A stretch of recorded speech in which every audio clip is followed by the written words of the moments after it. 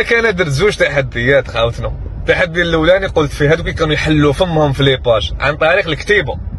واحد فيهم يكون راجل ويخرج ويدير فيديو ويقابل بوجهه ويقول الموقف تاعو. قال يا خويا مثلا أنا بور موا الطياح حرية شخصية ولا رقم 106 حرية شخصية.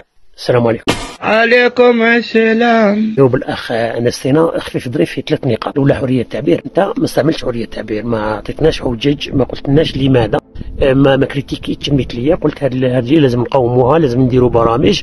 لازم علاه المثلية هذه مضرة بالمجتمع. مضرة بالشخص بحد ذاته بالمجتمع نتاعو بالدولة تاعنا بكلش. ما عطيتناش هذه الحجج. أنت دعيت إلى إبادتهم إلى قتلهم إلى التنمر عليهم. وهذا مجرم في كل دول العالم. حتى في أفغانستان واليمن هذا الشيء ما تقدرش ديروا أنت كفرت تدعي لهذا الشيء هذا. لأنه كاين سلطات على الأقل هي اللي تقوم بهذا الشيء بعد دراسات باش تفهم هذا الشيء هذا. أنت دعيت إلى إبادتهم؟ نمحيه اللي يدير عفسة كيما هذا أنا هذا هو الموقف تاعي. وأنا شغل هذه ما كاش كاش نتقبلها ولو كان جات في يدي نمحيه اللي يدير عفسة كيما هذا ما كاش شغل سيرتو شغل إنك تجاهر بهذا الشيء وما تقولوش بلي زعما راني n'exagérer زعما ولا. والله العظيم غير أنني خايف. أنا هذا هو الموقف تاعي. وأنا شغل هذه ما كاش كاش نتقبلها ولو كان جات في يدي نمحيه اللي يدير عفسة كيما هذه. نمحيه اللي يدير عفسة كيما هذه. وهذا الشيء نعرف مين جايبه راك جايبه من واحد من الصحراء 1400 سنة. واحد الشخص أباد واحد القوم كامل. فالو رجال أبادهم كلهم. راح نجي لك عليها بعد في النقطة التالية. النقطة الثانية هي المثلية.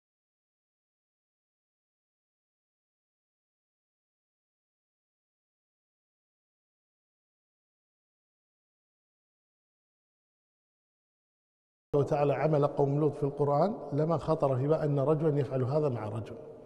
كما قال الشيخ سام تيمية أجمعوا أجمعوا على أن من يفعل عمل قوم لوط أنه يقتل ولكن اختلفوا في طريقة القتل فقط لكن اتفقوا أنه يقتل. الفاعل والمفعول به إذا كان برضاهما. ولكن يقول اختلفوا في طريقة القتل. بعضهم قال يفعل به كما فعل بقوم لوط. يؤخذ إلى أعلى مكان في البلد يعني مثل برج التحرير مثل عندنا ثم يلقى من شاهق ويتبع بالحجارة. لو قدر أنه سقط وما مات يتبع بالحجارة. كما فعل بقوم لوط وهي ما تسمى بالمؤتفكات. لما رفعت عن الأرض ثم ألقيت مرة ثانية. وبعضهم قال يقتل بالسيف وبعضهم قال يرجم بالحجارة كما يرجم الزاني. والفرق بينه وبين الزاني أن الزاني إذا كان غير محصن يجلد. بينما هذا يقتل على كل حال. محصن غير محصن ما في فرق في هذه المسألة. لي باش تقدم لنا الأدلة. أنت تعرف باللي في الدياسه مثليا ماهوش مرض ماهوش معدي. يعني أنا عندي صحابي يدرك مثليا وأنا نحب النساء أنا يطيروا صباح النوض خلاص. غادي تبان لي باللي أنا نولي نحب الرجال. منين جبت هذه الهضرة هذه فيما يخص التأثير كذلك. لو كان صح إحنا دروك نتأثروا بالمثليين ونقولوا المثليين المثليين هما خلال ماشي عارف شحال من سنوات. وين هوليود بوليود كاع هاد الأخرين يعني كانوا كلهم مركزين على les hétéros. ويتنمروا على المثليين. كان هذو نقارضوا شكون يحب يكون مثلي في بلاد كما الجزائر مع ناس كما نتايا؟ نمحيه اللي يدير عفسه كيما شكون شكون اللي هو يحب إرادته هو راه باغي يكون مثلي. هذه اسمها ميول جنسي. يا عبد ربي. Alors l'homosexualité, c'est-à-dire le désir pour une personne de son sexe, euh, n'est pas un choix. Pas plus que nos préférences alimentaires, euh, nos préférences musicales ou nos préférences sportives. Ça n'est pas quelque chose que l'on peut décider. Aucune étude ne conclut qu'il y a un gène euh, qui définirait l'orientation sexuelle, qu'elle soit homosexuelle, hétérosexuelle ou bisexuelle. L'homosexualité n'est pas une maladie d'occidental, d'abord parce que ce n'est pas une maladie, et ensuite parce qu'il est présent dans toutes les sociétés euh, depuis la nuit des temps.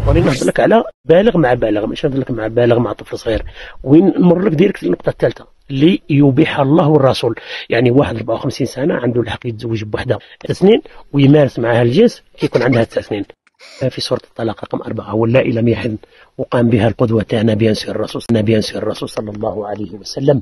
محمد لما تزوج على مع عائشة يعني اغتصبها تزوج معها ست سنين واغتصبها كان عندها تسع سنين و54 سنة. مش غير هذه ما اكتفاش بهذه.